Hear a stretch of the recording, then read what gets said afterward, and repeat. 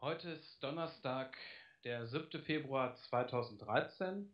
Hier ist die Sendung Macht und Menschenrechte auf Radio Jungle Drum. Mein Name ist Volker Reusing. Herzlich willkommen allen unseren Gästen, Zuhörern, die uns heute live zuhören. Heute ist ja auch Weiberfastnacht in Deutschland und allen, die uns trotzdem auch heute die Treue halten und live dabei sind, herzliches Willkommen. Heute haben wir vier verschiedene Themen. Einmal geht es um Neuigkeiten aus Griechenland mit Marina Spanos vom Hellas VP. Dann, danach werde ich mit Daniel Neun von Radio Utopie sprechen. Es geht auch um dramatische ähm, Ereignisse ähm, rund um den Iran 2005 und 2006 und was wir heute aus den damaligen Ereignissen lernen können. Dann geht es um ähm, Volksentscheide. Wie viele Volksentscheide sind möglich mit dem Grundgesetz? Da werde ich mit Klaus Sofing-Blanke sprechen, dem Initiator vom Netzwerk Volksentscheid. Und zuletzt ein Buch, das äh, mich sehr bewegt hat, ähm, von Anthony Sutton, ein amerikanischer Historiker, leider schon verstorben, wo es darum geht, ähm, wie der Aufstieg Hitlers finanziert wurde und wer damit Geschäfte gemacht hat. Kommen wir nun zum ersten Thema. Neuigkeiten aus Griechenland mit ähm, Marina Spanos von Hellas Frappé. Hallo Marina. Hello, hello Germany. How are you tonight? We are we are well because you are our guest now. Oh, thank you, thank you. Um, okay, where do you want me to start? The news of the week or the news of the month? The good news or the bad news? um, let us start with the good news. The good news. There is no good news. there is no good news. Uh, things are um, actually uh, becoming worse every day in Greece. The situation is, uh, I think, is totally out of hand. Um, not so much uh, the financial um, as much as it is the humanitarian. The humanitarian issue is uh, is uh, totally out of hand. Do you want me to speak and then you're going to translate, or do you want me to just speak and then you'll translate later? Later. Äh, die äh, humanitäre Situation in äh, Griechenland ist außer Kon äh, Kontrolle. Es ist weniger die finanzielle Situation, aber die humanitäre Situation in Griechenland verschlimmert sich weiter. Uh, please speak and then, then I translate when you make a pause. Just Okay, fantastic. Okay, I'm- the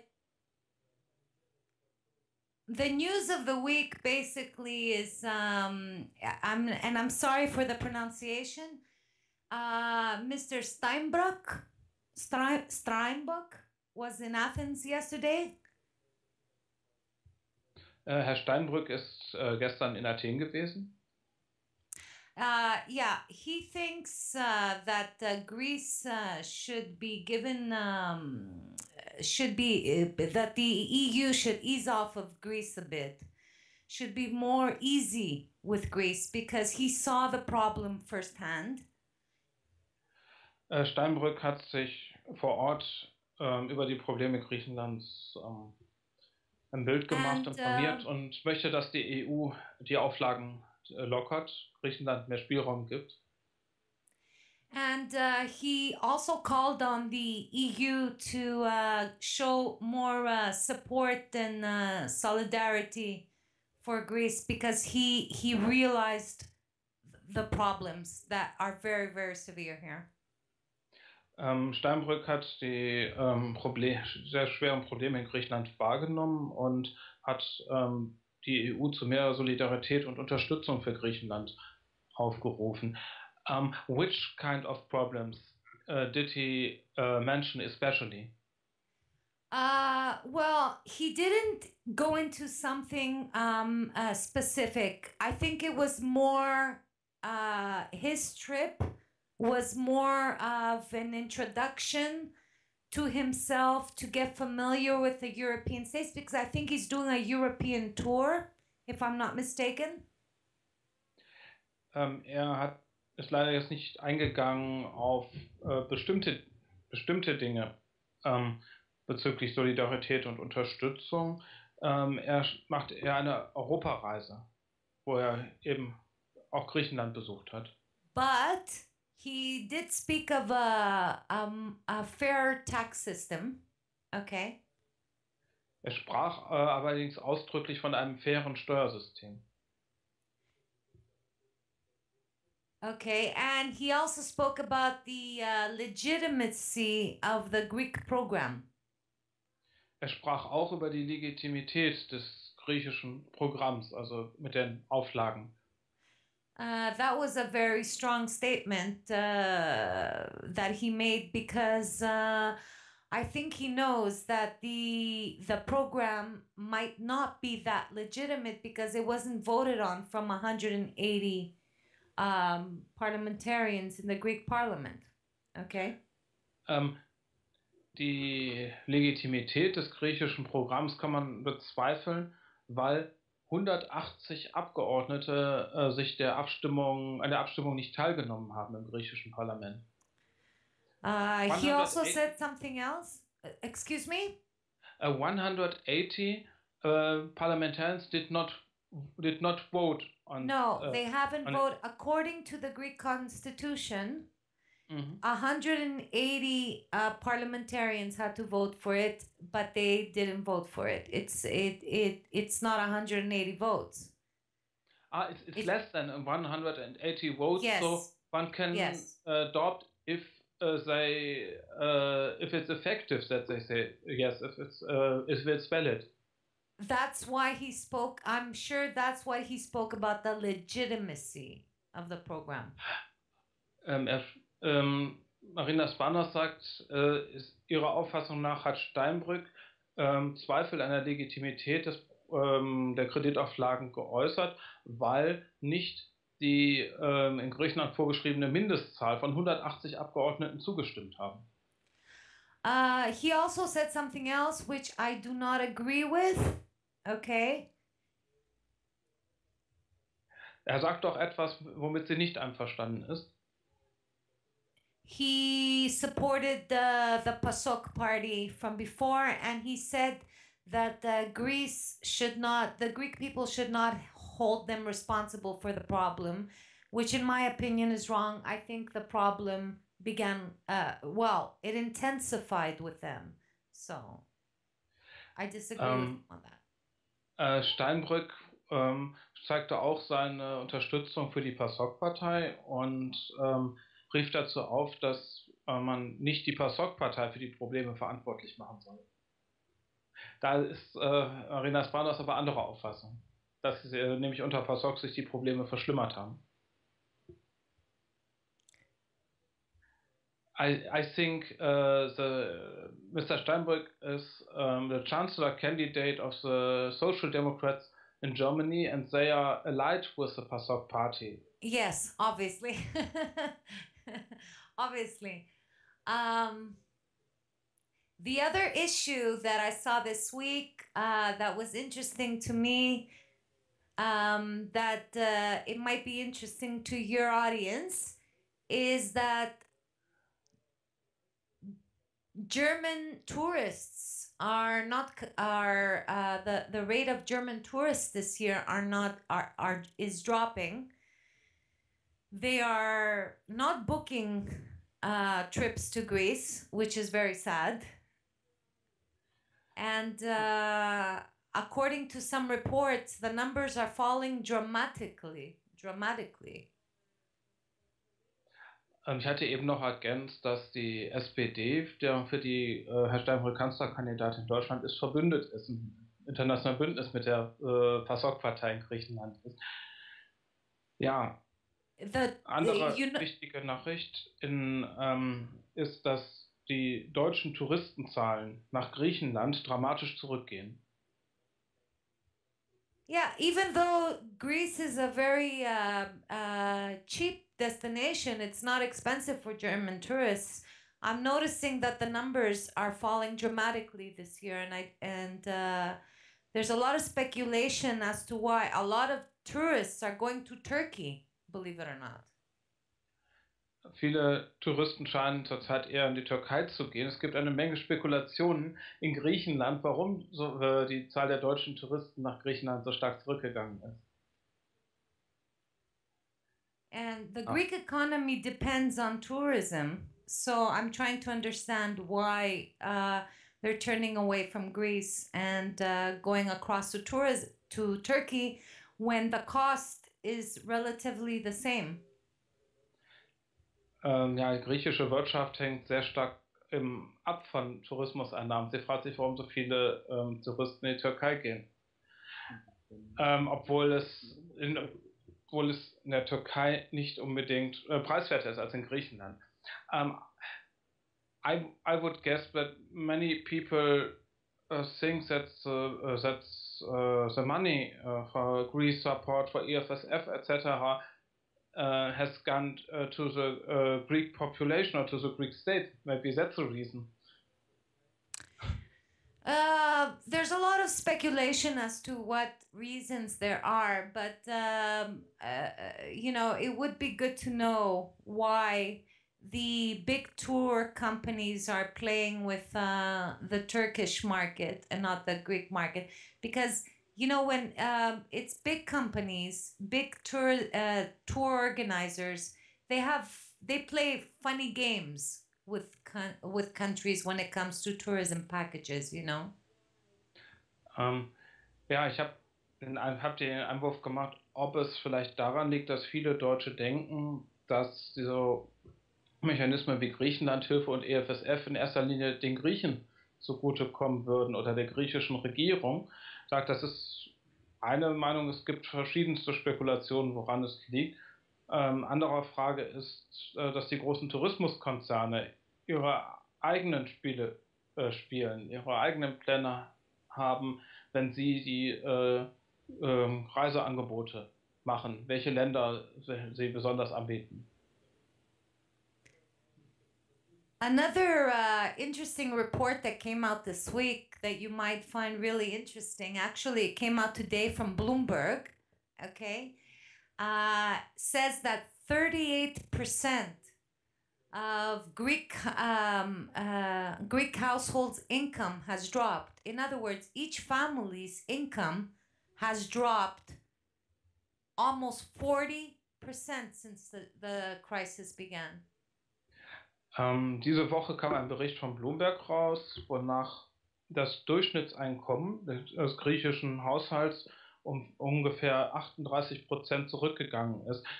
Ähm, which uh, from which time to which time uh, does uh, Bloomberg look from 2009 to 2012? Or which it's, time? Uh, yeah, it's it's it's saying in general. Uh, it uh, was a, an opinion poll company that conducted the survey. Es war eine Meinungsumfragenfirma, die diese Untersuchung gemacht hat.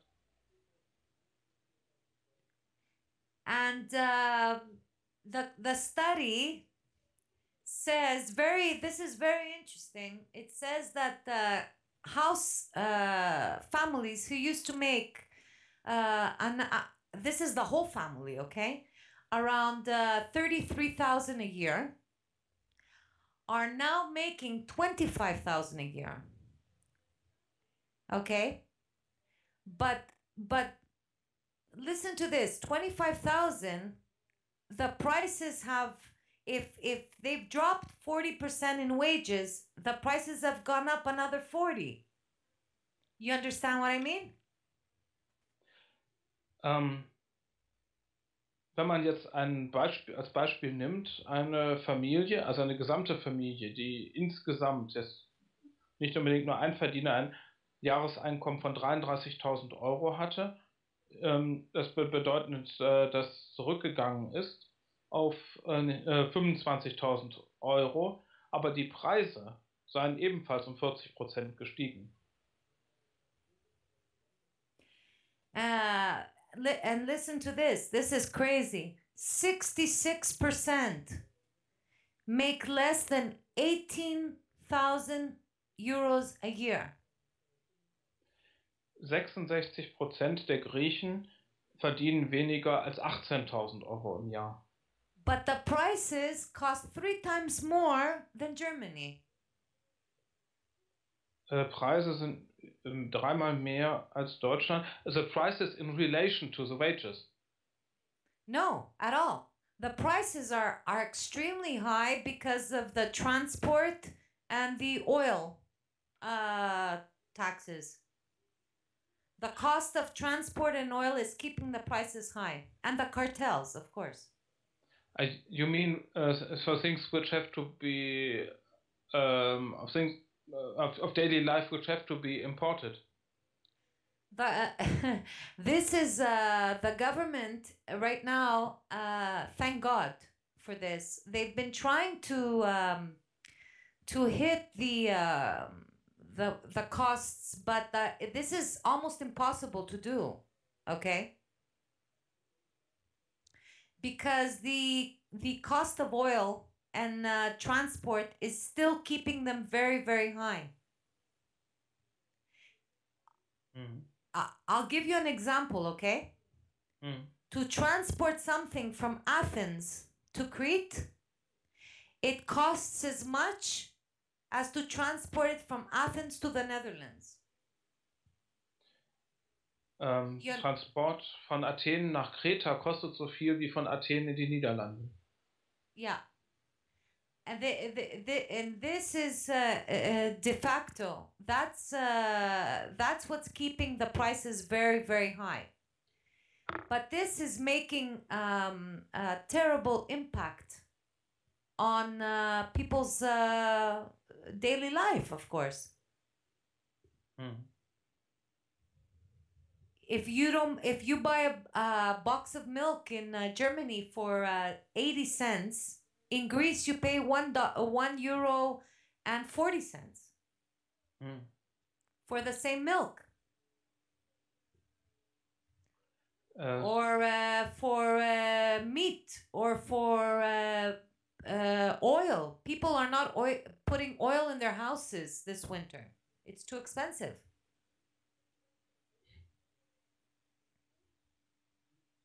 Do you have, a, äh, also die, ähm, zum Beispiel Milch hier, wenn es in Deutschland 80 Cent kostet, kostet in Griechenland äh, 1,20 Euro. Auch Fleisch ist in Griechenland teurer, also auch in absoluten Preisen. Und ähm, ein ganz wichtiges Problem dabei ist, dass ähm, der Treibstoff in Griechenland so teuer ist. Alles, was weiter tra transportiert werden muss. Und ähm, das betrifft dann auch Heizöl. Ähm, viele Leute heizen diesen Winter nicht in Griechenland.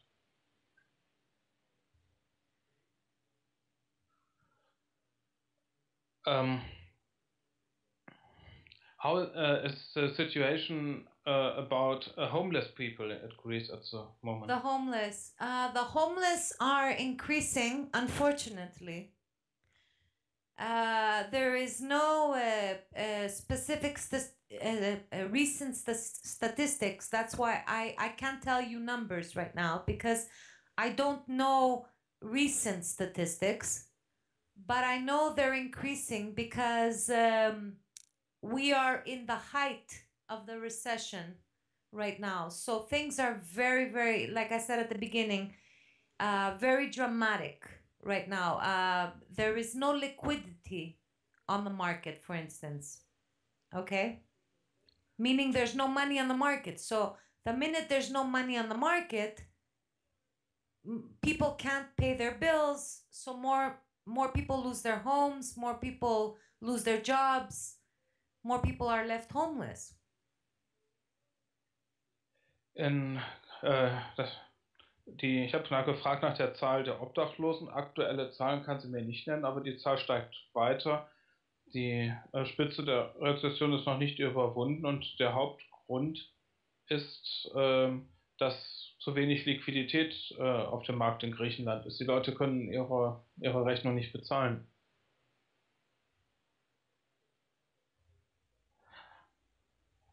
Ähm, ich würde gerne etwas fragen über Hellas Frappé. I would like to ask about Hellas äh, Frappé. Mhm. Um, um, can you te- uh, can you tell me about your blog? Uh, what does your blog focus on uh, in in general? Okay, uh, Elas Frappé began um, as a very small blog uh, because uh, I wanted the world, it was completely my idea. I wanted the world to um, see Greece in a different light. Okay? Hellas Frappé wurde von Marina Spanos gestartet. Es, ging ihr, es geht ihr darum, dass die Welt Griechenland in einem anderen Licht sieht. I did not like what the world was saying about Greek people. Um, uh, I did not like uh, the negative publicity Greece was getting in the markets and uh, on uh, the mainstream media. Es geht darum, ähm, nicht nur dieses negative Bild zu zeigen, dass man ähm, was Griechenland auf den in Anführungsstrichen Märkten äh, von Griechenland gezeigt wird oder was man in Mainstream-Medien über Griechenland hört. Uh, I like uh, the, the blog likes to concentrate on the truth, but uh, we don't have to insult the dignity of the people by saying the truth. Okay. Ähm, der Blog konzentriert sich darauf, die Wahrheit zu sagen, aber auf eine würdevolle Weise, die niemanden persönlich angreift. At the same time, uh, the blog uh, does not uh, have a political uh, edge, meaning uh, it doesn't really side with one political party. Ähm, we are very objective. Der Blog ist sehr ob- objektiv, politisch neutral. And uh, we like introducing stories uh, to our readers um, that not only deal with Greece, but that deal with the whole region the Balkans, Eastern Mediterranean, Cyprus. Es geht bei Hellas Frappé Blog nicht ausschließlich um Griechenland, sondern insgesamt um den östlichen Mittelmeerraum, auch Zypern, Balkan. Um, yeah, we focus, uh, Las Frappe focuses more on uh, economic, uh, politic, political, and geopolitical issues. Äh, Hellas Frappé ähm, konzentriert sich thematisch auf wirtschaftliche und politische Themen, auch auf geopolitische Themen. And uh, we have uh, a very good reputation for issues that have to do with natural gas and oil. Ähm, Hellas Frappé hat eine sehr gute Reputation zu Themen, die mit ähm, Erdgas und Erdöl zusammenhängen. Uh, we monitor the Greek news every day, and uh, we we are very up to date with what's going on, and we try to uh, get the information out to our readers every single day as best we can.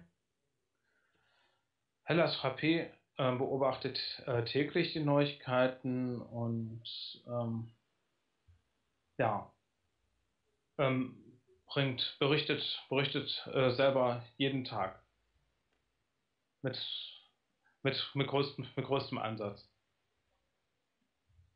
we also um, uh, like to give people a reason to fall in love with Greece again and to believe in the Greek people.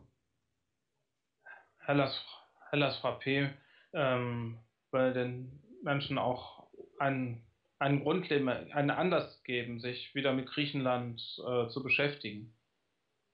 And we and through uh, some articles we publish, uh, we we are educating the people who read us about our history and our culture.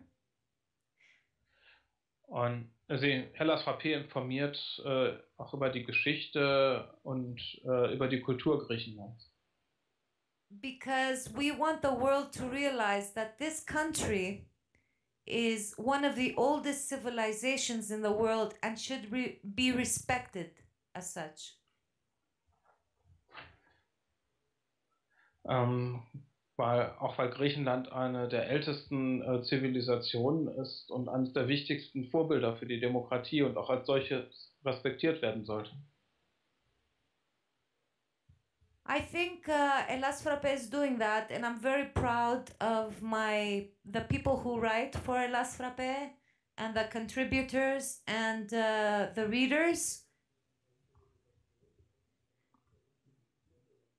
Und, äh, Marina Spanos ist äh, sehr stolz auf die Leute, die für Hellas Frappé schreiben und dazu beitragen und auf die Leser. And I'm very happy that uh, they listen, they read us from all over the world, all over the world. Aus allen Teilen der Welt les, äh, wird Hellas Frappé gelesen. That's basically my news. Okay. Um, I've uh, just uh, got some news from uh, uh the uh, Griechenland blog. It's a, a German-speaking blog on uh, on Mhm. Greece. according to them, as a currency EU commissioner, um, Olli Rehn blames the Greek state. Um, f- for a moment uh, for the lack of supply with, with cancer medicaments because the Greek state um, has not made sure that um, medicaments uh, have been paid uh, um, um, in due time. What what do do you think about this? Okay, uh, this is hypocrisy for me because it sounds to me like um, uh, the, uh, for instance, the Troika says to Greece, uh, "Oops, we made a mistake on our program," but at the same time, it doesn't say, "Well, okay, if we made a mistake, it's because we gave you this program," you know. So we take this money off the Greek people, but two years are are scrap garbage because the troika make a, made a mistake when the eu takes its time to give out the bailout funds to greece. This is what happens in greece. You can't go criticize greece after. Greek Mm. people have no more money. You know? How they how they gonna bail out uh, how's the government supposed to collect money to pay the pharmaceutical companies when the greek uh, when when the bailout money is not coming into greece we're still waiting for this money Ähm, ja, ich hatte, ich hatte Marina Spanos gefragt. Ähm, eine Nachricht ähm, war gerade ganz aktuell von heute, dass EU-Währungskommissar Olli Rehn äh, die Auffassung vertreten hat, das fand man auf Griechenland-Blog, ist ein deutschsprachiger Blog zu Griechenland, ähm, dass ähm, Griechenland ähm, ja schuld dran sei, dass äh, Krebsmedikamente nicht äh, zur Verfügung standen, weil Griechenland nicht sichergestellt habe, beziehungsweise stehen, äh, weil Griechenland nicht sichergestellt habe, dass die fristgerecht bezahlt werden, die Medikamente. Darauf äh, sagt Marina Svanos, das äh, sei ähm, ähm, i'll give you i'll give you an example the- okay One, one moment, one moment. Um, yes um, sorry. I'm just looking for hypocritical, um, hochmütig, weil es ist aufgrund der Auflagen der Troika, dass äh, Griechenland ähm, das äh, nicht bezahlen konnte. Es war ja im Zusammenhang mit, äh, mit, mit dem Bailout und Griechenland wartet immer noch darauf, dass es äh, dem Land selber das Geld von dem Bailout zugutekommen soll. Okay, please uh, give an example. Yes, the the best example is this one. In August, last August, they were supposed to uh, uh, release a bailout fund. They didn't release it in August. They told us in August, we're sorry, we're gonna do it in November. They didn't do it in November. They told us after we're gonna do it in January. We're gonna. This is every month. It's something new, and every month they they were gonna do this, but they didn't do that. Every month this is happening. People in Greece, all these companies that deal with the European Union, like the pharmaceutical companies or the uh, all the companies that buy primary goods from uh, Europe, are late in their payments because nobody trusts the Greek people anymore. Everybody wants cash up front. You understand what I mean? So they don't work on credit anymore. So because they're not working on credit anymore, they're putting uh, uh, Greek uh, Greek companies are are all money now. You know they're they, they they're waiting for all this money from the government because we work with a tax system here. So they're waiting to get this money from the government so they can pay after the workers workers have not been paid for 8 to 9 months in Greece. Ähm, Because Ja, the bailout money is not coming to Greece. uh, whose bailout money? Okay, let me explain. The bailout money that um, uh, Europe gave to the Greek to Greece is not for the Greek people or the real economy. It's for the banks. Ah, So it never went to the real economy. The real the money that we were supposed to get for the real economy is supposed to come now. okay. Ähm, es wurde versprochen, dass, äh, eben, das, dass eben Geld in Richtung Griechenland nicht immer nur für die Banken, äh, wo ich ergänzen möchte, als Gläubiger Griechenland äh, geht, sondern äh, dass auch Geld für die Realwirtschaft bezahlt wird. Es wurde versprochen letztes Jahr im August, letztes Jahr im November, praktisch jeden Monat, immer mal wieder etwas anderes, weshalb eben nicht das Geld für die Realwirtschaft kam. Und ähm, ja, es ist ein starkes Misstrauen gegenüber der griechischen Wirtschaft äh, bei verschiedensten Wirtschaftssektoren. Wenn griechische Firmen etwas kaufen wollen, müssen sie ähm, ja im Voraus bezahlen. Vorher konnten sie, als mehr Vertrauen in die griechische Wirtschaft war, auch auf Kredit kaufen. Das äh, verschärft natürlich die Liquiditätslage bei griechischen Firmen und es gibt Firmen, wo die Arbeitnehmer acht bis neun Monate ihr Gehalt nicht bekommen haben. Uh, I also have something else to say about the pharmaceutical companies. They're also playing very funny games with Greece. Uh, for instance, they're shipping off the medicines to Europe and uh, they're not selling them in Greece. So, cancer patients can't find their medicine or people cannot find medicine in Greece because the pharmaceutical companies are not making any money in Greece because the, the government can't pay them. You understand? So they're selling them to Europe. And this, this, this is a tragedy by itself. To the European Union or to, uh, To other European countries. Okay. Ähm, Pharmafirmen beliefern Griechenland weniger, weil ähm, ja, Griechenland, griechische Regierung die Medikamente nicht bezahlen kann. Und ähm, deswegen liefern sie mehr in andere Länder und ähm, deswegen ist äh, Mangel an äh, Medikamenten in Griechenland. Yeah, this, this, this is a tragedy by itself. Do you know that, uh, for for example, uh, and this is gonna sound ridiculous, but imagine how big the tragedy is that Sky Television Channel Hm. had a, a marathon to collect medicines from people who had extra medicine to give poor people because people could not find their medicines.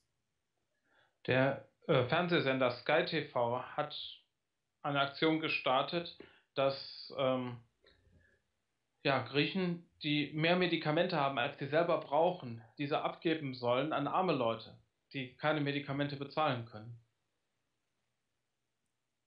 So dramatisch ist die Situation. This is because they have not received. Now they're starting. I think now it's start, the money starting to to be distributed. But then again, I don't know. I cannot confirm this. Uh, that this is what the government says that it's starting to pay the um, the VAT back to the um, to the companies, and this is what the companies are waiting for to pay off their suppliers. You understand? So maybe Olli Rehn's uh, comment is is a little uh, premature because he knows the situation. Wenn ich es richtig verstanden habe, warten Pharmafirmen auf Umsatzsteuererstattung. Und ähm, auch das ist auch das ist ein äh, ähm, Grund ähm, für die für die für die Pharmafirmen. Um, you mean uh, that they are waiting for uh, that uh, that the um, that the, The Greek state uh, that the Greek state has to pay back uh, value-added tax to pharma companies, and they are waiting Yes, for yes, this. yes, for yes. this- to this to a lot of on- companies. Ah, and uh, it's important for from their position to uh, have more trust in a Greek economy and in the Greek state.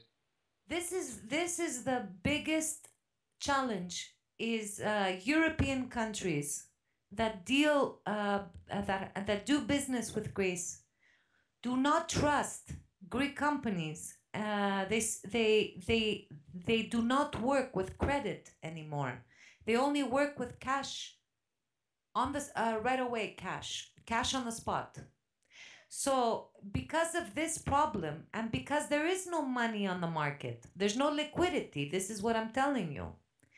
Uh, the minute there's no money, nobody, you know, there's no liquidity. How are you supposed to pay your suppliers when there's no money on the market?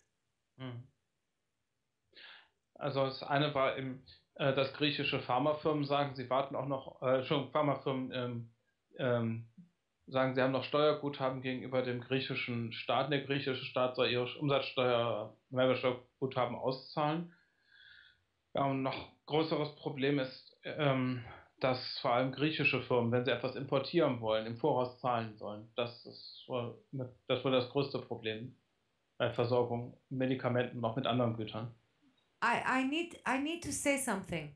Imagine how tragic the situation is if they reduce the cost of wages, the operation costs, okay? They cut, they cut, they cut uh, wages by one third, okay? Even in the private sector. And employers still do not pay their employees. There's employees in Greece who have not been paid for six, eight, ten months. Obwohl die, ähm, obwohl die Löhne, Gehälter um ein Drittel gekürzt worden sind, trotzdem gibt es äh, viele Beschäftigte, die monatelang, sechs Monate, acht, zehn, neun, zehn Monate nicht bezahlt worden sind. So dramatisch ist die Situation der griechischen Wirtschaft. Okay. Um, many thanks. Um, You're welcome. I would I would like to know um, how uh, can our listeners uh, support Hellas Frappé? Well, you can uh, go on our blog and read our articles every day. Uh, learn about Greece. Learn, uh, get to know another side of Greece. This is this is what Elas Frappe wants the world to to to come to know. Another side. Greeks are not lazy people. We work very hard. We have a passion and uh, and uh, a, a, love for our country and uh, we're a very proud people and uh, they can just uh, go on the internet and log into our blog every day and they'll be supporting um, uh, the, the, the fight for greece actually they will show us solidarity by learning another side to the story which is very important because sometimes the media is uh, just focuses on one side. It doesn't talk about everything um, for various reasons. We all know why. But it's nice to learn um, what's happening in Greece from a Greek. you know, um, that way you can um, learn to fall in love with Greece again and learn to trust the Greek people again. Uh, this is the biggest challenge is changing Greece's image and uh, getting the world familiar with Greece again and falling in love with Greece again. We this is a beautiful country with a rich history and very very dynamic fan, uh, fantastic people and the world needs to to get to know it again. Ja, ich habe gefragt, wie kann man, wie können unsere Leser, wie können unsere Zuhörer Griechenland unter, äh, Entschuldigung, Hellas Frappé unterstützen. Und Marina Spanos äh, schlägt vor, doch täglich auf äh, die Seite von Hellas Frappé zu gehen, sich zu informieren. Und ähm, ein Akt der Solidarität ist auch, dass man ähm, ja, sich die andere Seite der Geschichte anschaut. Nicht nur das anschaut, was in Massenmedien über Griechenland berichtet wird. Und zu sehen, dass die Griechen ähm, sehr hart arbeitende Menschen sind und Menschen, die, die ihr Land lieben. Und ähm, sie beschreibt die Griechen als dynamische und, äh, und, und tolle, fantastische, fantastische Menschen. Und sie möchte einfach, dass die Leute wieder vertraut werden, damit wie Griechenland wirklich ist. Can I say just one last thing? Okay. Thank you. Also, because we're a very, very small country, and right now we're in a very weak economic position, it does not mean it does not mean that we are um, uh, we will compromise uh, our national pride and our love for our country, and uh, we want the world to um, to listen to us because the crisis in Greece is not only economic. We have a national crisis. We have uh, uh, problems uh, with countries around Greece, and all this people need to understand why we have these problems. And I think Greece needs a voice, and Elas Frappe is doing that. It's giving a voice uh, to uh, to Greece in uh, beyond Greek borders. And I'm very, very proud that uh, we have almost 1 million readers all over the world, and I'm very, very happy for that. Ja. Ähm, Griechenland ist zwar auf den ersten Blick ein, äh, ein, ein kleines Land und es ist ähm, in einer Krise, nicht nur in einer wirtschaftlichen Krise, auch politisch, ähm, aber die Griechen sind stolz auf ihr Land und lieben ihr Land und Hellas Frappé trägt dazu bei, Griechenland selbst, den Griechen selbst eine Stimme zu geben, sich selbst darzustellen und ähm, nicht immer, dass, dass eben nur über sie berichtet wird. Und ähm, Hellas Frappé haben schon ähm, rund eine Million Menschen gelesen und ähm, ja, das ist eine stolze Leistung. Ich möchte noch äh, sagen, ähm, ja, einmal im Monat ähm, ist äh, Marina Spanos von Hellas Frappé bei uns zu Gast, immer am ersten Donnerstag im Monat. Herzlichen Dank. Ähm, each uh, first uh, Thursday in, in, the month, Hellas Frappé, uh, Marina Spanos of Hellas Frappé is, is our guest at our radio show. Um, many thanks for participating. Many thanks to Germany. We love Germany. Have a wonderful rest of the show. Good night, Germany. Thank you very much. Thank you.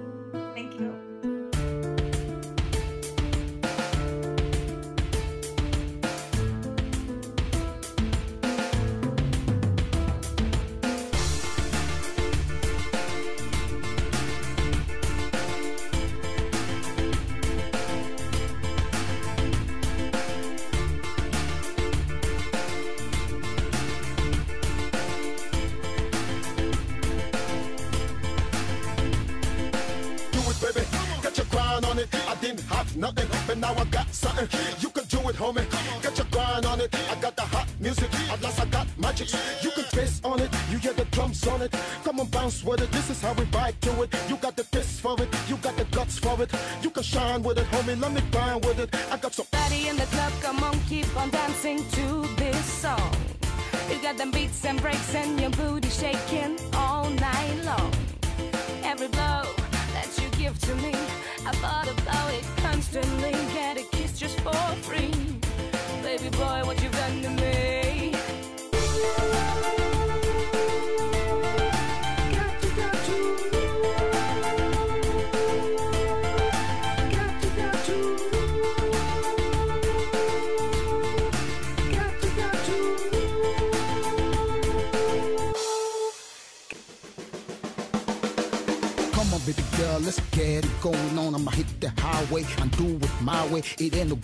so I don't play games. I keep it up straight, right up in your face. So make your mind up, cause life is too short. I got the vest on, boy, put your belt on. Stop acting all cool like Kanye West, boy. You be riding through the wire and the camera get on fire. You don't want that, no.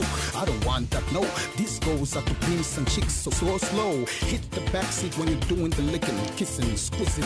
Do the damn thing, man. Body in the club, come on, keep on dancing to this song. You got them beats and breaks and your booty shaking all night long. Every blow that you give to me, I thought about it constantly. Get a kiss just for free. Baby boy, what you've done to me.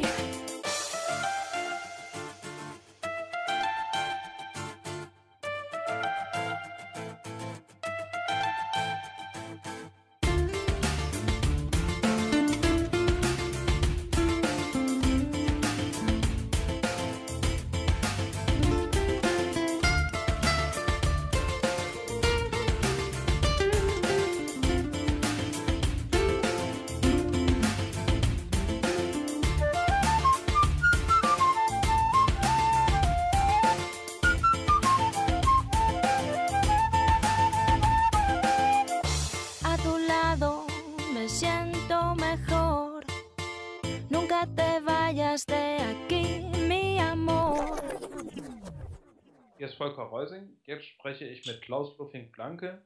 Er ist Initiator des Netzwerks Volksentscheid. Hallo Klaus.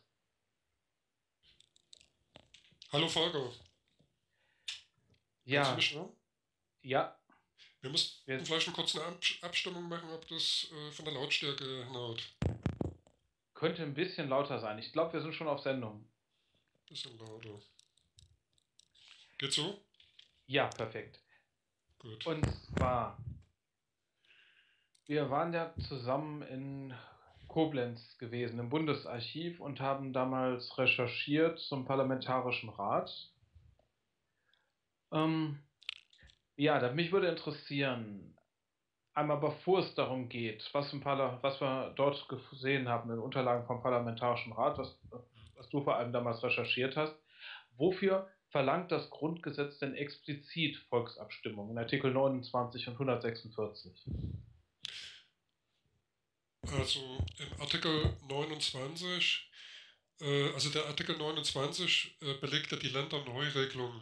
Äh, das heißt also, wenn äh, im Lande Bundesrepublik äh, Länderneugliederungen stattfinden, äh, dann ist das Volk zu befragen. Im Artikel 146, der betrifft also äh, explizit äh, ja, al- also eine grundlegende Änderung des Systems. Das heißt, der 146 ist nur für Totalrevisionen gedacht, wie der Bund- Bundesverfassungsrichter Voskuhle ja auch gesagt hat. Ähm, ein Und vereintes Deutschland haben wir ja im Prinzip noch nicht, äh, da ja im Prinzip Berlin immer noch den Status äh, der Besatzung hat, also äh, nach wie vor unter besatzungsrechtlichen Vorbehalt steht. Äh, zudem kann man also über eine staatliche und territoriale Vereinigung nur sprechen, wenn äh, diese freiwillig und mit Volksabstimmung äh, aller deutschen Völkerteile vorgenommen wird. Beim Anschluss Ostdeutschlands handelte es sich eher um eine Vereinnahmung mit dem offensichtlichen Zweck, dass man ja Ostdeutschland unter die äh, besatzungsrechtliche Struktur der Westalliierten bekommt. Zumindest äh, könnte man das ja äh, so interpretieren. Ostdeutschland hatte ja eine Verfassung, egal jetzt, äh, wie die zustande gekommen ist. Ähm, ja, das ist, ähm, da sind sicherlich einige Fragen offen. Ähm, in äh, Präambel des Grundgesetzes steht ja dann die ostdeutschen Bundesländer da drin, dass sie aus Sicht des Grundgesetzes dazugehören. Andererseits haben sich ja die Besatzungsmächte vorbehalten, noch 1990 weiterhin gesagt, dass Westberlin weiterhin nicht Teil äh, der Bundesrepublik Deutschland äh, als solche sei. Aber sie haben sich zumindest mit unter das Grundgesetz begeben. Es, es wird aber auch behauptet, äh, wenn man sich die Präambel anschaut, unter dem Artikel 146, dass ich glaube in der Präambel steht, dass die Einigung Deutschlands ja nun vollendet sei, praktisch wie äh, sowas wie eine Art gesetzliche Fiktion mit Grundgesetzrang halt. Und es, aber man kann natürlich auch die Auffassung vertreten, die Einheit wäre noch nicht vollendet ähm, aus diesen Gründen und ähm, dass deswegen so eine Volksabstimmung noch nicht stattfinden könnte. Also solange äh, Teile des deutschen Volkes also äh, von dieser Abstimmung ausgeschlossen sind, äh, wäre das eigentlich gar nicht möglich. Ich möchte eigentlich mal für das Grundgesetz generell eine Lanze brechen. Äh, es wird ja immer gesagt, das Grundgesetz ist keine Verfassung. Äh, das mag ja stimmen, es ist ein besatzungsrechtliches Mittel, äh, also ein besatzungsrechtliches Ordnungsmittel, hat aber einen Verfassungsrang. Und das Wichtigste eigentlich am Grundgesetz ist ja momentan Artikel 1 und 20 und der Artikel 79. Äh, da kommen wir ja vielleicht später nachher nochmal drauf, drüber zu reden. Äh, dieser, dieser Vorbehalt, dass man also diesen 1 und 20 fixiert hat, äh, über die Ewigkeitsklausel oder Ewigkeitsgarantie, äh, ist also ein sehr wichtiger Bestandteil, wenn man sich also zum Beispiel sowas anguckt wie ESM, Fiskalpakt, AEUV, äh, die Eingliederung in, äh, in das EU-Konstrukt etc. Äh, stimmen auf, und da würde wahrscheinlich Daniel Neun, der also vor mir gesprochen hat, äh, an die Decke hüpfen, äh, wenn also Diskussionen aufkommen, wir wollen unser Grundgesetz in die Tonne kloppen und uns ein neues, äh, eine neue Verfassung geben. da liegt im Prinzip die Falle, denn wer will sie uns geben? Ich kann mich also dunkel daran erinnern, dass im vergangenen Jahr mal die Diskussion aufkam im Deutschen Bundestag, dass also äh, Herr Gysi zum Beispiel sagte, ja, dann geben wir uns doch eine neue Verfassung. Äh, da müssen alle Alarmglocken klingeln. Aus dem ganz einfachen Grund, äh, der Spruch ging dann weiter, äh, dann geben wir uns eben eine. Oder wir machen eine. Ja, wer? Die Parteien? Und da ja, liegt das, das Problem. Äh, was wir also, äh, was wir also dringendst vermeiden müssen, ist, äh, momentan, und zwar solange äh, ESM, Fiskalpakt, AEUV und äh, die ganze Begleitgesetzgebung äh, des, des ESM äh, noch nicht in Sack und Tüten ist, es wird uns ja immer suggeriert, dass es in Sack und Tüten ist, ist es ja nicht, es stehen ja noch Klagen an, muss man also dieses Grundgesetz festhalten, weil ansonsten ein Grundgesetz ja von, von Thinktanks wie zum Beispiel ja, Bertelsmann oder, äh, oder äh, von, von Medien bestimmten äh, äh, Leuten generiert wird. Deswegen ist es also außerordentlich wichtig, 1, 20, 79 zu behalten und äh, um Gottes Willen festzuhalten. Und 29, die Länder Neugliederung, wie gesagt, äh, die steht ja hier momentan gar nicht immer im Raum. Oder sagen wir mal, doch, ich denke, es ist auch wichtig, dass die Leute erstmal wissen, was sie am Grundgesetz haben. Denn wenn man was Neues wollte, dass die Leute erstmal wissen, was haben sie denn bisher, dass man sie nicht mit etwas weniger Gutem dann abspeisen kann. Eben. Äh, und äh, das ist ja äh, auch die Diskussion und immer wieder das Mantra, was wir also wieder bewegen, eben das Grundgesetz zu schützen momentan solange wir nichts Besseres haben. Und wir können nichts Besseres kriegen, wenn also Leute zugange sind, die versuchen tagtäglich unsere Freiheiten Stück für Stück wieder abzubauen oder noch mehr abzubauen. Ähm, äh, da würde ich jetzt gerne einmal eingehen darauf. Ähm, du hattest ja damals vor allem recherchiert. Ähm, es gibt ja den Punkt, also einmal Artikel 29 und 146 sind Volksabstimmungen explizit vorgeschrieben. Dann gibt es aber zusätzlich ja auch den Artikel 20 innerhalb der Ewigkeitsgarantie, Absatz 2, Satz 2, wo ja steht, dass das deutsche Volk herrscht durch Wahlen, durch Abstimmung und durch die Organe der Legislative, Exekutive und Judikative. Und das ist ja dann innerhalb der Ewigkeitsgarantie ausdrücklich formuliert und zusätzlich zu Artikel 146 und zu Artikel 29. Da stellt sich ja dann die Frage, wie viel mehr Volksabstimmung ist ohne Grundgesetz Änderung möglich, wie viel mehr als das äh, über das hinaus, was in Artikel 29 und 146 ausdrücklich vorgeschrieben ist. Was haben damals die Recherchen ergeben? Was für Anhaltspunkte? Wie viel mehr es ist, ist es ist eigentlich generell alles möglich äh, äh, zu bestimmen. Also äh, wenn man den Artikel 20 äh, sich einfach mal liest, wir machen ja äh, viel zu selten uns mal die Mühe und lesen einfach mal das Grundgesetz in Artikel 20, wenn ich den mal zitieren darf, steht also äh, unter Satz 1, die Bundesrepublik Deutschland ist ein demokratischer und sozialer Bundesstaat. Äh, der 2 ist eigentlich der wichtigste fast, äh, weil er nämlich an erster Stelle äh, benennt, äh, wer also äh, den Vorrang hat, die Staatsgewalt auszuüben. Alle Staatsgewalt geht vom Volke aus. Sie wird vom Volke in Wahlen und Abstimmungen und durch besondere Organe der Gesetzgebung, der vollziehenden Gewalt und der Rechtsprechung ausgeübt. Da steht also nicht anstatt oder durch oder, oder äh, äh, ja doch, durch steht er, aber äh, es steht da nicht anstatt äh, durch bes besondere Organe, sondern alle Staatsgewalt geht vom Volke aus, sie wird vom Volke in Wahlen und Abstimmungen und durch besondere Organe der Gesetzgebung, der vollziehenden Gewalt und der Rechtsprechung ausgeübt. So, und, äh, und bei diesem zweiten und haben wir doch eigentlich äh, das Problem. Wir überlesen es einfach, wenn wir das und Grundgesetz lesen. Ist da eine Rangfolge oder sind das drei gleich dicke Säulen? Also Wahlen, Abstimmung und Organe? Was gibt es ja. da für Anhaltspunkte? Wie viel Raum soll den einzelnen Säulen gegeben sein der Demokratie? Also äh, natürlich äh, kann das Volk ja nicht über alles abstimmen. Äh, das wäre ja auch absolut unsinnig. Äh, es muss irgendwo äh, ja auch ein Parlament geben oder zumindest äh, eine Institution, die Gesetze, die Gesetze entwirft, Gesetze abstimmen kann und ja, diese dann auch vollzieht.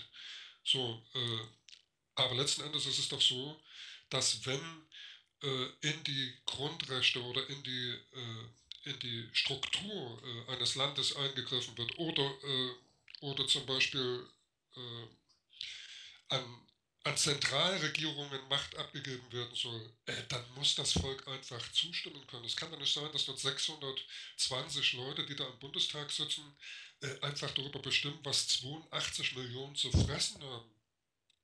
Das heißt also, je tiefer der Eingriff, äh, Grundrechtseingriff und oder je größer die Machtverschiebung innerhalb des demokratischen Systems, desto äh, wichtiger ist es, dass man darüber auch Volksentscheide hat. Natürlich. Also. Äh, wir könnten uns ja nachher noch darüber unterhalten, äh, was man alles so äh, entscheiden kann. Oder äh, da, da, denkt man ja jetzt zum Beispiel als allererstes dran, äh, Euro oder EU. So, hätte man also dem Volk die Möglichkeit gegeben, dort eine Abstimmung zu machen, die wäre ganz klar ausgefallen man hätte sich dagegen entschieden. Und äh, ich bin auch der Auffassung, das wäre ganz, ganz richtig gewesen, weil das Bauchgefühl und die Intelligenz der Masse ja einfach gegriffen hätte.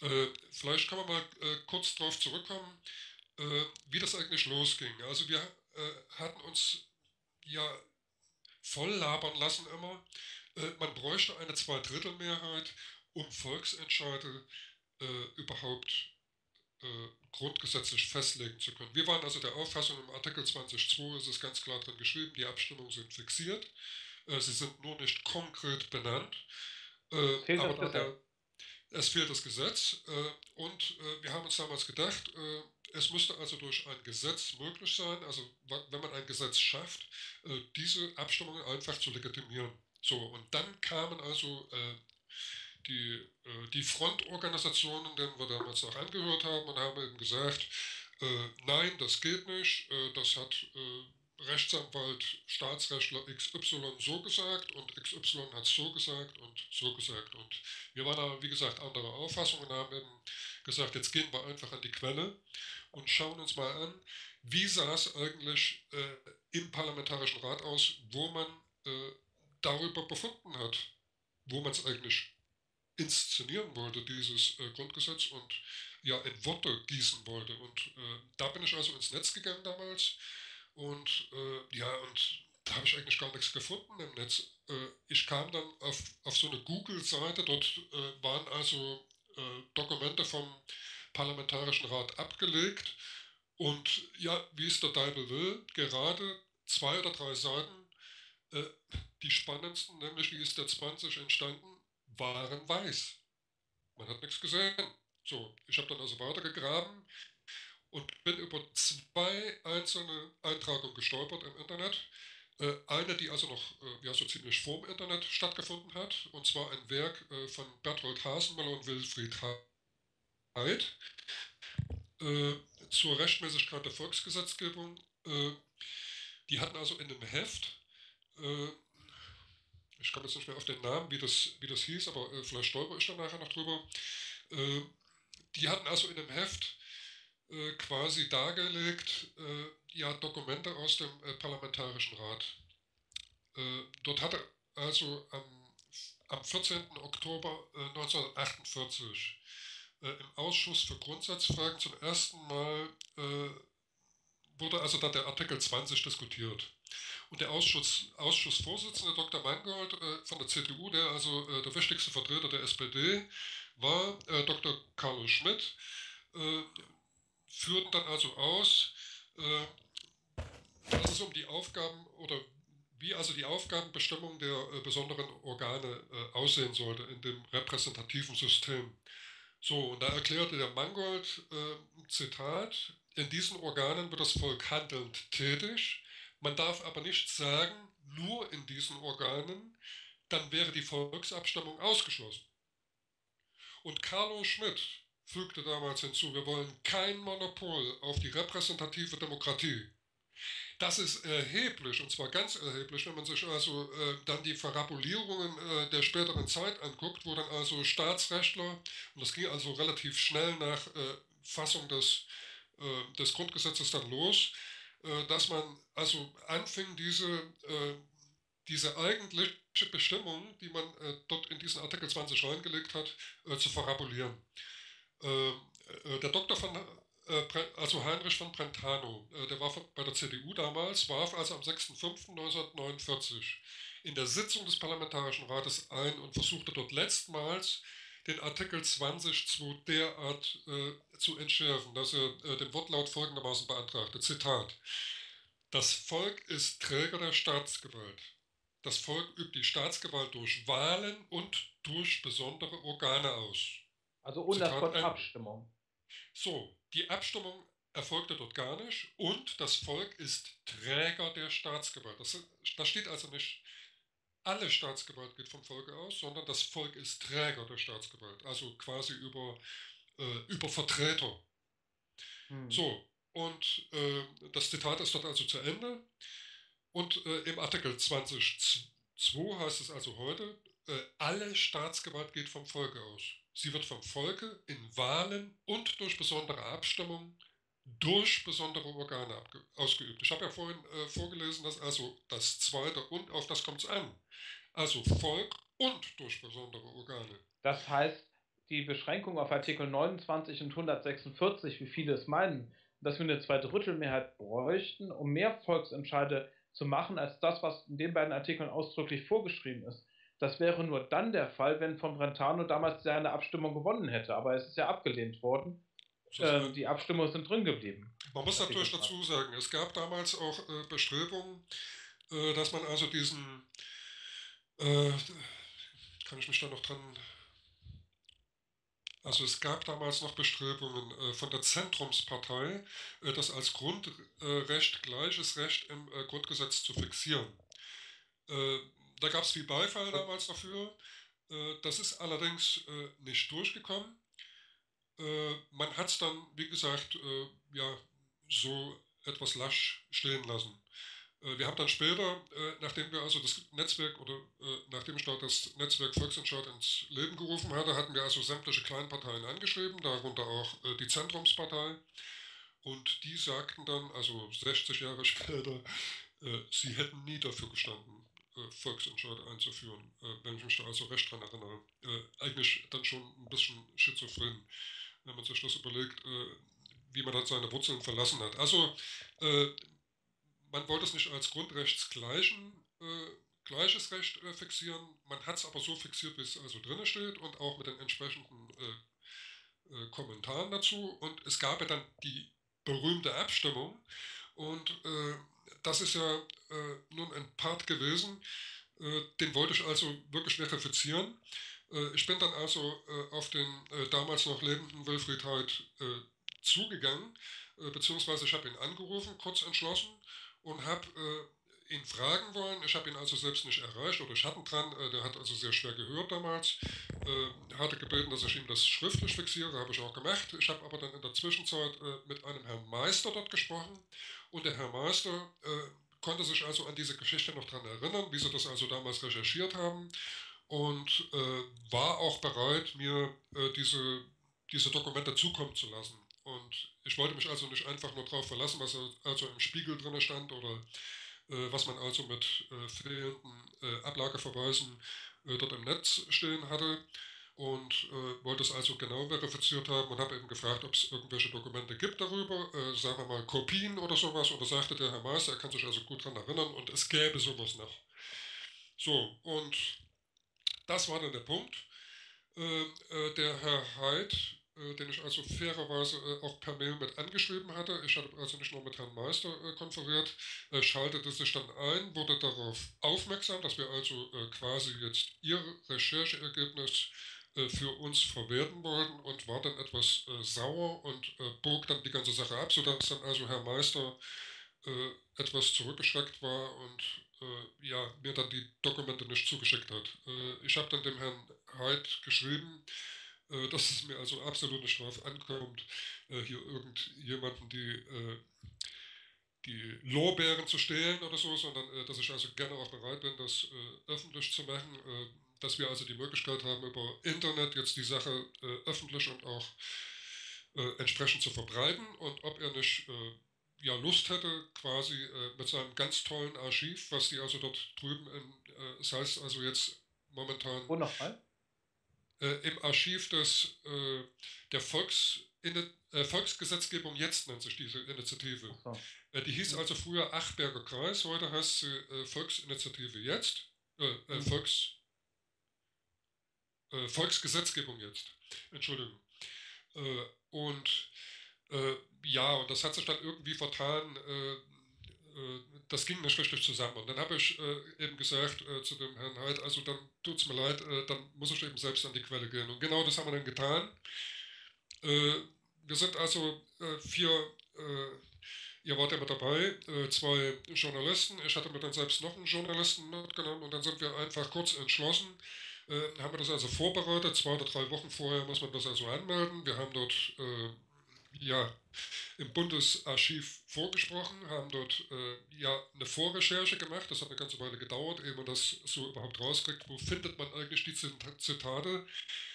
Äh, haben also dort eine ganze Menge an, äh, an Ablageorten äh, abgegeben. Das kann man also im Internet recherchieren, wenn man ins Bundesarchiv äh, reinguckt in Koblenz.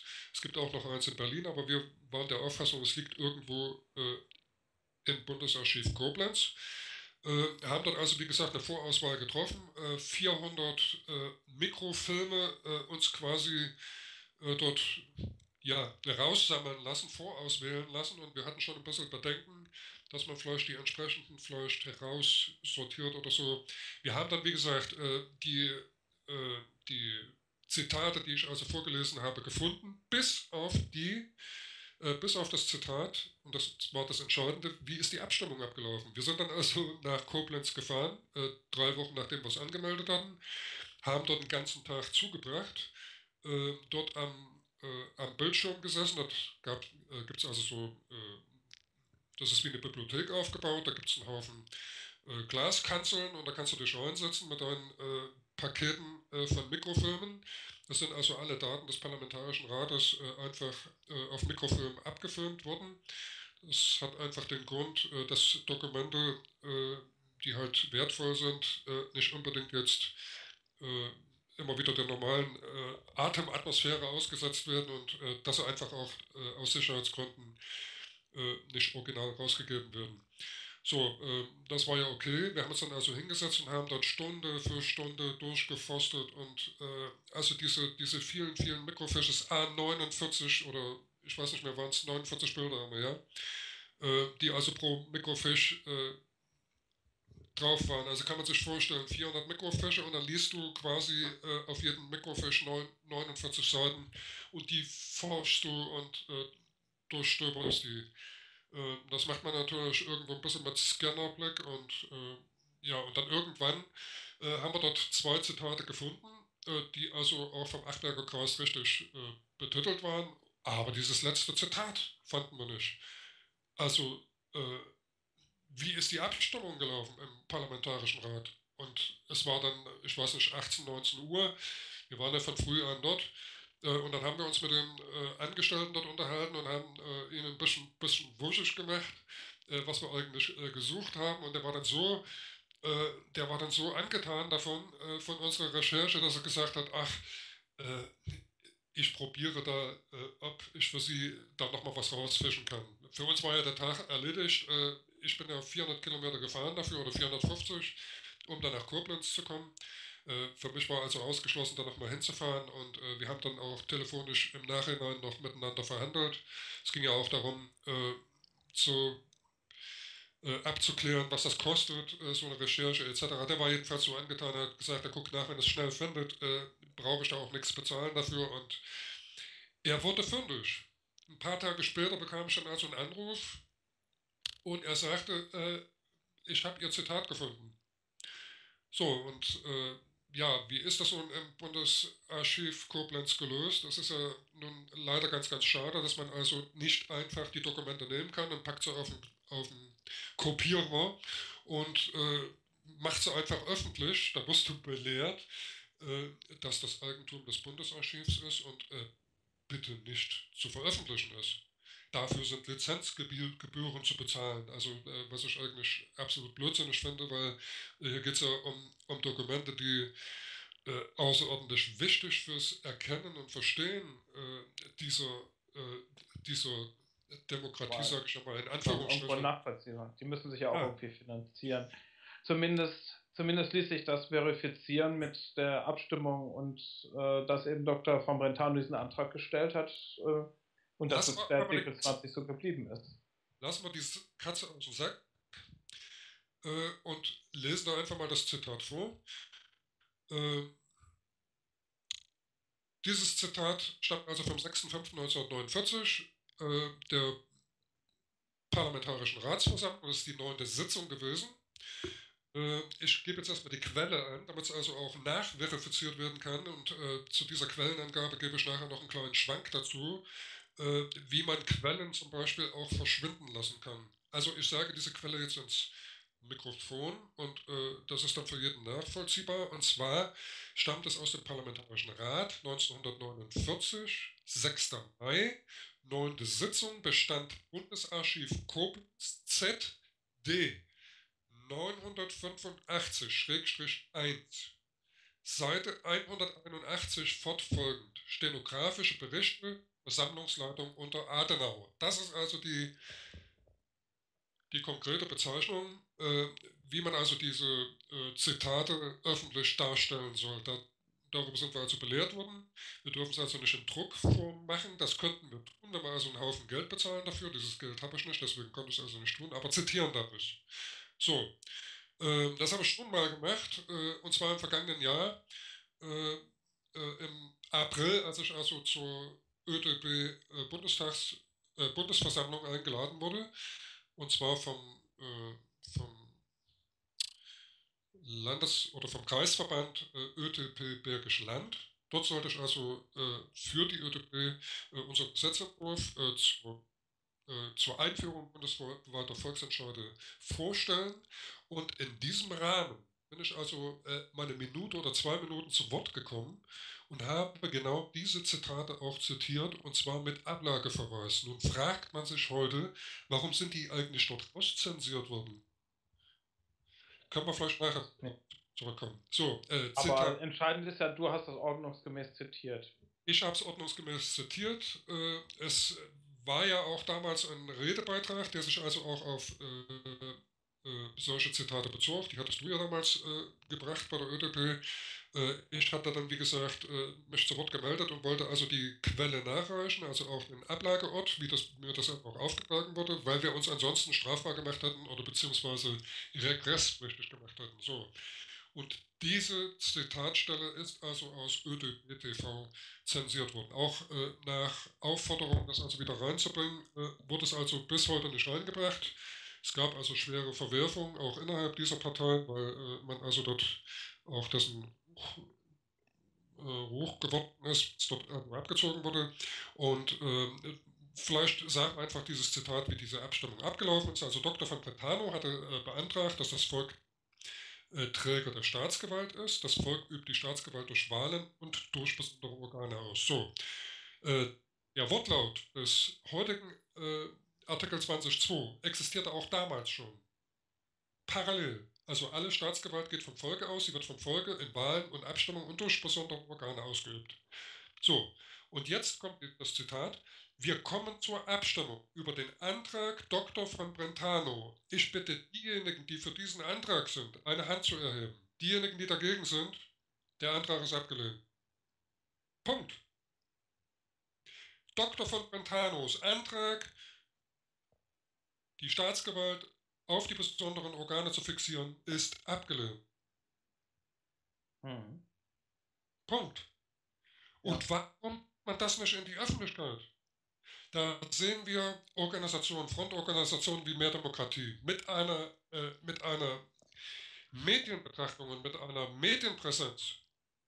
Fast jede Woche sitzt also der Sprecher von Mehr Demokratie irgendwo in einer äh, Mainstream-Sendung oder in einem öffentlich-rechtlichen Sender und schwafelt darüber, dass wir Volks, äh, Volksabstimmungen auf Bundesebene haben wollen. Und ich habe ihm das selbst zugestellt, dieses Zitat und auch diese Zitate mit Ablagestelle. Und nur eine Woche später, waren es zwei Wochen später, tritt dieser Mann im Deutschlandrat der Kultur auf und schwafelt eine Stunde lang in einer Diskussionsrunde, ohne diese Zitate zu bringen.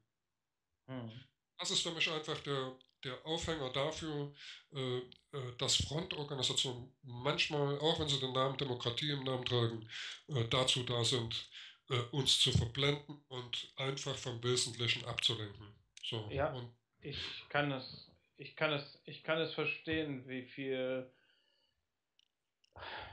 dass es manchmal ziemlich dass es ziemlich hart ist zu sehen, wie eben Vereine wie Mehr Demokratie bei dieser Rechtsauffassung bleiben und das von äh, das gar nicht richtig zur Kenntnis nehmen, wenn sie dann sagen würden, dass sie äh, dass sie darauf antworten und dann sagen, ja, aber auch wenn Dr. Famatanos Antrag so nicht durchgekommen ist, sie sehen das so und so anders und dass eben auch politische Organisationen sich äh, ja an deren Auffassung festklammern. Ich möchte da jetzt jetzt gar nicht in dem Maße bewerten. Mir geht es ja darum, wie viel Demokratie ist ohne, äh, wie viel Volksabstimmung ist ohne Grundgesetzänderung möglich. Also meine persönliche Auffassung ist, ähm, dass die Wahlen schon ein bisschen mehr Gewicht haben müssen, weil es ein grundrechtsgleiches Wahlrecht noch gibt, zusätzlich zur Demokratie, aber kein grundrechtsgleiches Recht auf Volksabstimmung. Aber ähm, dass das deutlich über Artikel 29 und 146 hinausgeht, was an Volksabstimmung möglich ist ich meine, dass die Wahlen nur einen gewissen Vorsprung haben müssen, weil ein Grundrecht gleiches Recht auf Volksabstimmung halt nicht reingeschrieben wurde ins Grundgesetz. Dass also die Wahlsäule für die Wahlen etwas breiter sein muss. Der Bundesverfassungsrecht der Papiersprache davon, dass das Volk über alles abstimmen kann, was auch die Parlamentarier abstimmen können. Der Auffassung sind wir auch. Warum das heißt, auch nicht? Das heißt, äh, da müsste, muss nicht unbedingt ein gewisses Abstandsgebot sein, dass die gewählten Parlamentarier noch mehr entscheiden können. Man könnte also einfach gesetzlich äh, jedes Gesetz einem Referendum unterwerfen, zum Beispiel. Äh, äh, theoretisch äh, wäre es möglich, ja. Theoretisch wäre es möglich, dass man es unterwerfen könnte. Das Bundesverfassungsgericht müsste im Prinzip nur, äh, die könnten also quasi sagen, äh, also Abstimmungen sind möglich oder es muss über Gesetze äh, ein Referendum äh, abgestimmt werden. Aber wir wissen doch, wie viele Gesetze gemacht werden. Das ist ja auch äh, irgendwo irrisch zu sagen, äh, wir stimmen jetzt im Jahr 1000 Gesetze ab. Hm. Es geht doch wesentlichen äh, Geschichten. Das heißt, um die wesentlichen Sachen, ob wir äh, zum Beispiel zwangsalimentiert werden sollen oder ob wir äh, zwangsweise, ob uns zwangsweise das Glück auf, oktroyiert werden soll. Wer hat denn die Möglichkeit, zum Beispiel in Solidargemeinschaften zu sagen, äh, äh, wir versichern uns einfach selbst. Wir machen einfach selbst eine Krankenversicherung. Ich selbst kenne das. Ich äh, stecke auch in so einer Geschichte drin. Ich habe auch die Härte des Gesetzes kennengelernt, wenn es heißt, wenn man also äh, äh, in Selbstbestimmtheit versucht, also Selbsthilfe zu machen. Das heißt, äh, sich zusammenzuschließen und zu sagen, nee, wir, wir verstehen äh, etwas anderes darunter, unter Sozi äh, sozial äh, zu sein oder sozial mit dem Nächsten zu sein. Wir sichern uns ab ohne Paläste, ohne, äh, ohne äh, diesen ganzen Schwachsinn drumherum. Also, also ich, Entschuldigung. Äh, also, ähm, ich verstehe so, das heißt Volksabstimmung. Volksabstimmungen sind, siehst du vor allem als entscheidend an, äh, wenn es um Dinge geht, die tief in die Grundrechte eingreifen, wo es um deutliche Machtverschiebung geht oder wo es um grundlegende soziale Fragen geht, wie eben Absichern der großen Lebensrisiken wie Alter und Krankheit, dass da Volksabstimmung auch, äh, dass zumindest für diese Dinge Volksabstimmung geben sollte, dass man das ausschöpfen soll. Ja, äh, Volksabstimmung dafür, wie man zum Beispiel Alternativen äh, äh ins Spiel bringen kann. Wir haben ja zum Beispiel auch, äh, äh, auch die Problematik, wir, wir werden zwangsweise mit einer Energiewende äh, mit einer Energiewende ja, belastet, muss ich sagen. Äh, kann man es ja schon sagen, wenn man also äh, sich anguckt, was also die Kilowattstunde heutzutage kostet, das geht ja jeden an. aber man, man verbietet oder man man äh, behindert die Forschung, äh, zum Beispiel Raumenergie nutzen zu können. Das heißt, ganz andere Konzepte der Energieerzeugung. Mhm. Und äh, wenn ich also jetzt endlich mal in dieses Gefüge eingreifen will, zum Beispiel äh, die Macht der Parteien brechen will, äh, dann muss ich Volksentscheide haben dafür. Das heißt, dann muss die Masse sich zusammentun, dann muss die sagen, so, wir wollen diesen ganzen Quatsch und Käse nicht mehr, äh, der uns dort im, äh, im Bundestag vorgespielt wird. Wir wollen nicht mehr bevormundet werden, sondern wir, wir haben äh, äh gefälligst mit zu sprechen. Und äh, ich möchte das Bundesverfassungsgericht sehen, was also sagt, wenn sich da fünf Millionen Leute zusammentun und sagen, wir machen jetzt ein, äh, ein selbstorganisiertes Referendum und klatschen das den Politikern, äh, Politikern vor und äh, sagen, so, jetzt entscheidet mal darüber, ob das Bundesverfassungsgericht sagen würde, nee, die fünf Millionen Stimmen, die hauen wir mal in die Tonne. Das glaube ich nämlich nicht. Ich bin eher der Auffassung, dass das Bundesverfassungsgericht Marx äh, in der Vergangenheit krude entschieden haben, wie, wie will. Aber ich bin der Auffassung, dass die nur darauf warten, dass dieses Volk endlich aus dem Arsch kommt. Ich habe da, ich denke, es gab, hat auch noch kein Urteil gegeben vom Verfassungsgericht zu Verfassungsklagen, wo diese Fundstelle zu Dr. von Brentano zitiert worden ist. Äh, wenn diese Fundstelle äh, eines Tages vom Bundesverfassungsgericht zitiert wird, garantiere ich, dass das Bundesverfassungsgericht dementsprechend auch äh, ja, äh, entscheiden wird. Das heißt, dass es den Spielraum auch weiter ausschöpft, über 2946 Grundgesetz hinaus. Wenn ich natürlich die Entstehungsgeschichte des 2002 verheimliche bis zum Getno und äh, es machen ja alle mit, diese, diese, äh, diese Fundstelle zu verheimlichen, äh, dann brauche ich mich doch nicht wundern, äh, dass, man, dass man darüber ja keinen Entscheid hat. Aber wenn, wenn diese Fundstelle und diese Entstehungsgeschichte des 2002 nun endlich mal in so einem Bundesverfassungsgerichts, äh, in so einer Bundesverfassungsgerichtsbeschwerde oder Klage äh, mal auftauchen würde, dann sehen wir Volksentscheide eines Tages. Die wollen aber auch, dass äh, die Deppen entscheiden. Die wollen aber mitbekommen, dass die Leute so tough sind, dass sie endlich mal mitgekriegt haben, dass sie eigentlich 60 Jahre verarscht worden sind. Ich will es jetzt mal so ganz deutlich sagen. Ich bin ja äh, manchmal auch. Ich glaube schon, dass das Verfassungsgericht äh, äh, dass, dass sie schon auch danach gucken, ob die Leute sich dafür interessieren und ob die Leute sich kümmern um ihre Rechte. Das denke ich auch. Und ich also von selbst diese Sache ins Spiel bringen, solange wie die Leute pennen. Der Daniel Neun hat ja vorhin äh, sein, äh, sein Statement dazu gebracht. Äh, ich bin der Auffassung, natürlich kann nicht jeder wissen, äh, was gehauen und gestochen ist äh, ist er auch außerordentlich schwierig heutzutage. Jeder ist also mit seinen, äh, mit seinen kleinen und großen Problemen belastet, äh, wird also permanent mit Müll berieselt. Und wenn du dann mal die Möglichkeit gefunden hast und kannst dich aus diesem, ja, aus dieser äh, Zwangsabhängigkeit von Glotze, Bierpulle und Chipstüte lösen und mal einfach vor die Türe gehen und mal gucken, wie äh, es Wetter draußen ist oder äh, einfach auch okay. mal ins Netz gehen und äh, selbst mhm. mal Informationen sammeln, die ja äh, für jeden verfügbar sind, äh, dann, wenn die mitbekommen, dass die Leute so wach werden, äh, dann denke ich, dann würden die das auch selbst ins Spiel bringen. Okay, vielen Dank für, für den Beitrag. Und äh, jetzt kommt noch etwas Musik und danach wollte ich noch auf äh, wollte ich noch eine Buchempfehlung machen. Herzlichen Dank. We should be lovers. Tell me what kind of lover. never talk together. Mm. In spite of all the sadness of my tears, my heart resists itself. As a storm child has become my window, you've hurt me like no one did before. Did before. But think I need some compassion. I drive my own car competition. By the way, you were great opponent. Mm-hmm. We probably met few times later, but it surely make us stronger. Face to face with life, don't you see? What this summer was waiting.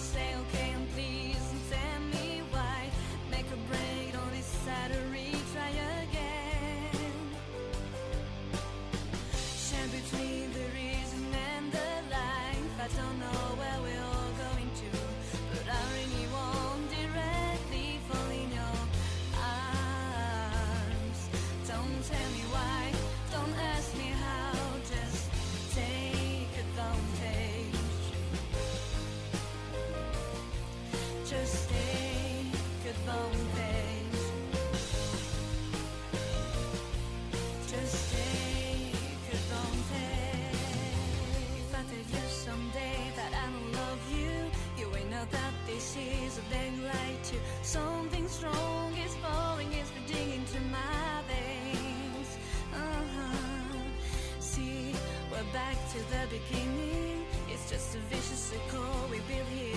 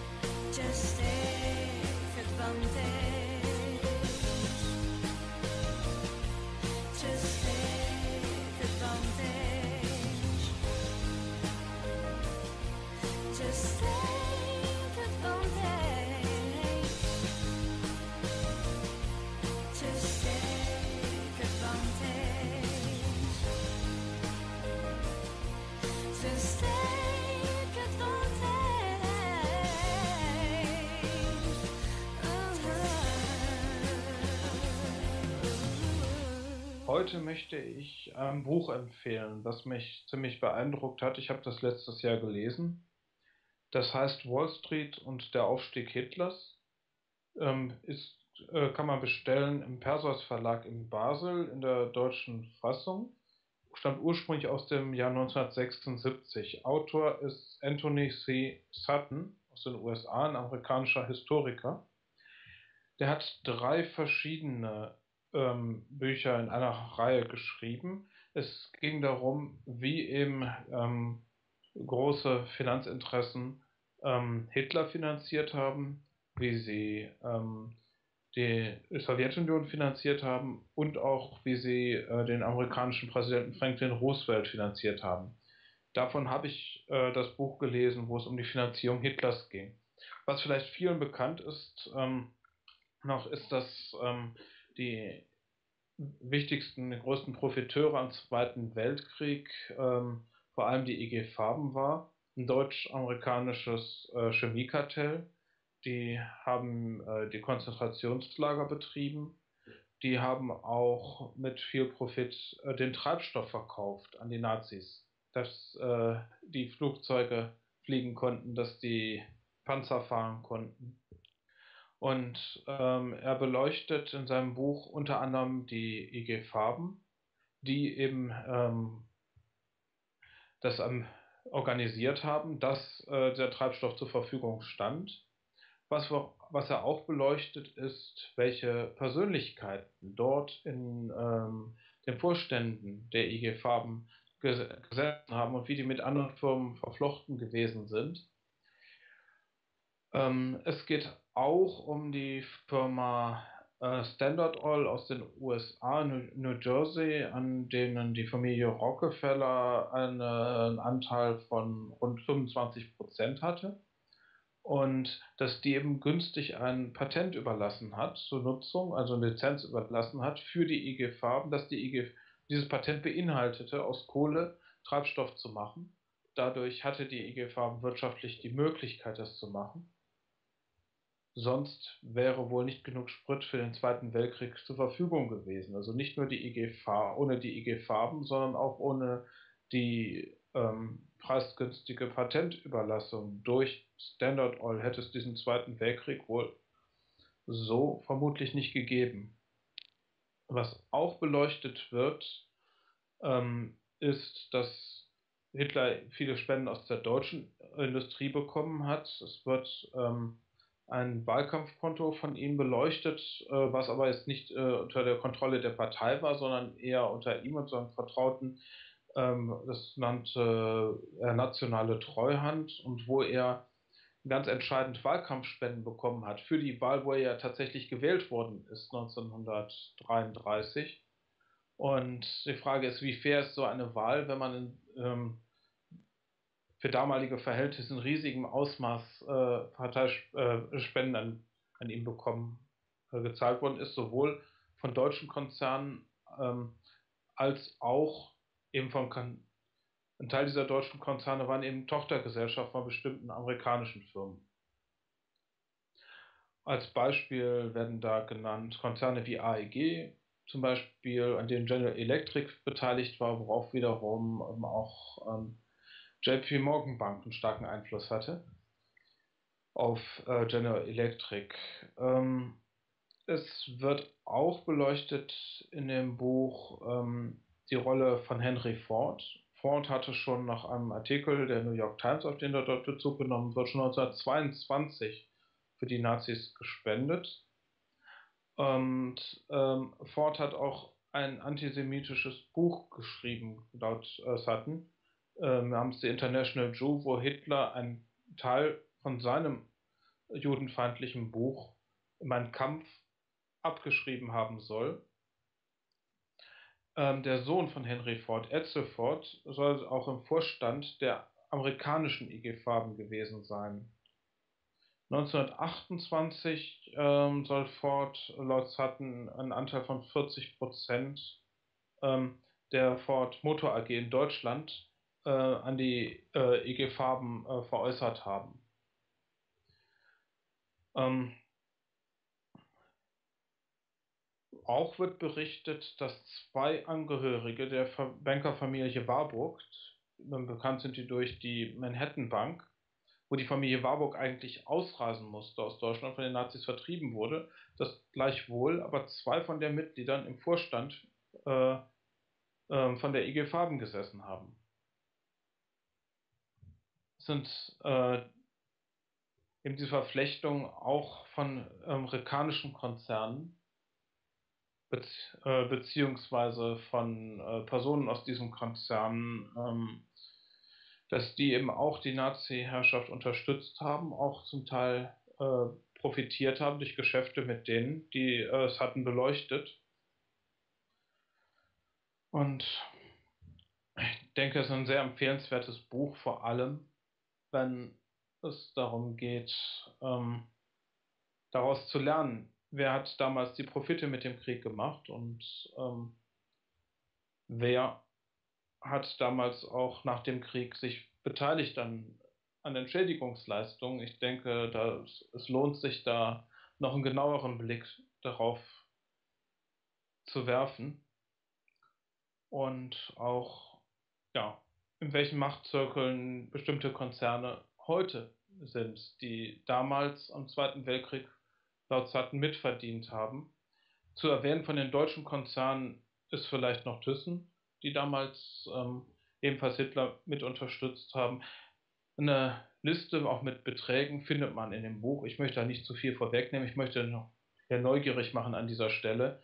Ich finde es auf jeden Fall wichtig, weil es auch eine ganze Menge ähm, Mythen ähm, relativiert unter anderem auch, dass äh, die Mythen, äh, was viele Menschen denken, dass ja, die Banker rund um die amerikanische Notenbank Fed immer auf der Seite Israels oder der Juden gewesen wären.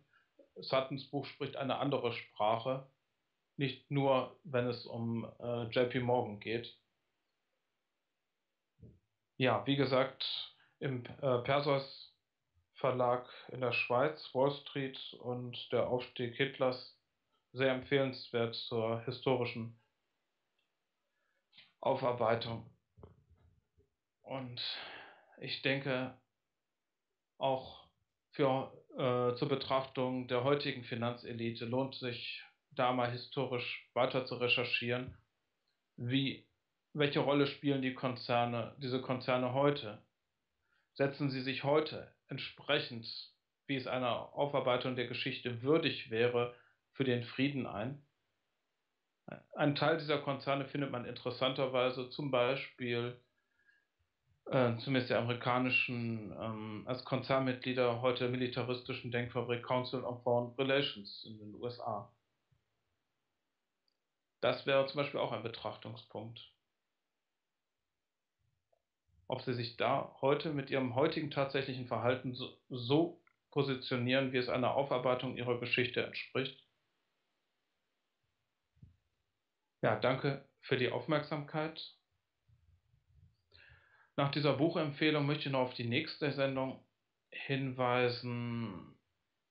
Ähm, die findet statt in zwei Wochen am 21. Februar, wieder um 19 Uhr. Und mit, mit anderen spannenden Themen wird noch rechtzeitig angekündigt. Herzlichen Dank.